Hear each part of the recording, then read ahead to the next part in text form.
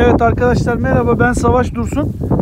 Şimdi bugün e, Mustafa Kemal Paşa'ya bağlı Çeltikçi köyünde e, takipçim olan aynı zamanda tedarikçim olan Eray Çeltikçi kardeşimi ziyarete geldim. Şöyle göstereyim size bu yakışıklı kardeşimi. Kardeşim genç girişimci. E, bizim de sözümüzü dinleyen bir kardeşlerimizden. Sözümüzü dinleyen para kazanmayı başarıyor arkadaşlar. Şimdi Eray kardeşimin burada toplamda e, 50 dönümdü değil mi? Ekili Evet toplamda 50 dönüm e, yonca tarlası vardı arkadaşlar. Geçen yıl bu tarlanın yoncasının çoğunluğunu biz e, Manyas'ta bulunan Gebedüve Yetiştirme Merkezimize almıştık. E, daha sonra yoncasının yaşlandığını ve yenilemesi gerektiğini söyledi bize. Ben de regras ekmesini şiddetle tavsiye ettim ve 3 Eylül tarihinde bu görmüş olduğunuz tarlaya kardeşimiz regras otu ekti. Akabinde tam 90 gün sonra 3 Aralık tarihinde otunu ilk biçimini gerçekleştirdi. O zamanki şartlarda tabii ki hava şartlarından ötürü otu kurutamadığımız için bu bölgede bol bulunan kendi yürür e, ot sılajlama o, e, ot paketleme makinasıyla otumuzu paketledik ve ot sılajı olarak satışa sunduk. Şimdi e, 3 Aralık'ta hemen kardeşim yeniden tarlaya gübreyi bastı ve kendi haline bıraktı tarlayı. Mevsim olarak yağmurlar yağdı. Ot kendisi büyüdü ve şu anda ot gördüğünüz gibi e, yer yer 70 santim, 80 santim, 90 santim büyüklüğe ulaşmış durumda. Bugün günlerden 17 Mart ve şu anda tarlayı bizzat ben de kontrole geldim. E, tarlayı inceledik. İçerisinde hiçbir pislik, yabancı madde, efendime söyleyeyim odunsu bitkiler mevcut değil. Bunun kontrolüne geldim.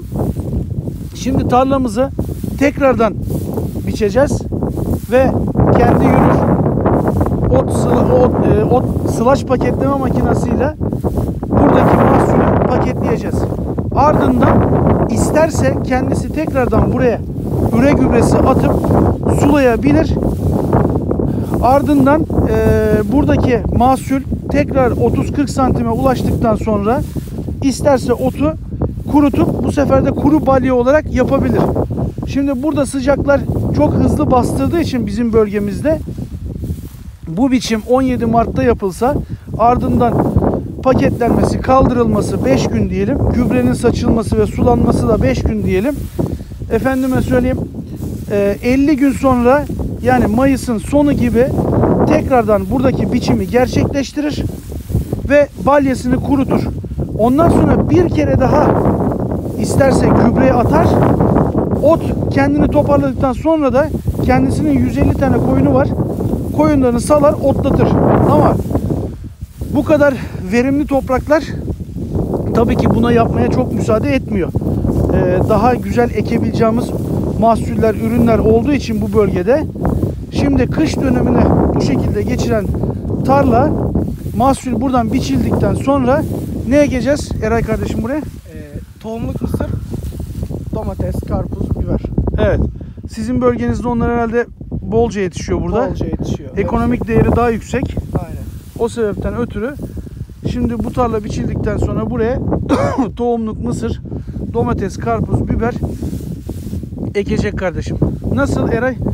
Memnun musun? Savaş abinin sözünü dinlediğinden şu güneşi arkamıza alalım. Koyunlar da karşıda zaten. Evet kendisinin de bu arada 150 tane koyunu var. Şuraya 10 dönüm bir yer bölmüş. Orada koyunlar yayılıyor, otluyor. Az önce gördüm içerisinde yatıyorlardı otun. Çoban geldi aldı götürdü onları. Otu daha fazla çiğnemesinler diye. Kışı geçirdik. Hiç Nasıl? Yem vermeden. 10 dönüm otla kışı geçirdik. Hiç yem vermeden koyunlara. 150 tane koyuna 10 dönüm yerden Hiç hiç kışı geçirdik. Hiç evde artı yem vermeden. Sadece yağmurlu günlerde biraz domates küspesi, biraz pancar küspesi verdik. evet. O da yağmurda koyunlar otlayamaz diye. Evet bu sayede de ne oldu?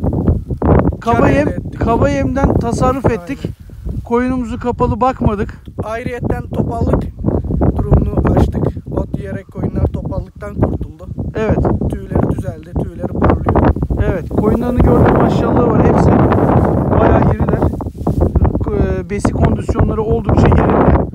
Ayrıyeten süt verimi de yükseldi. Bütün kuzuları ayrı takviyecilerden tasarruf ederek sütle büyüttük. Evet. Artı yem vermedik. Süt de Kuzulara- yaptırıyor otun şeyi. Süt de yaptırıyor. Ayrıyeten kuzulara da yarıyorsun.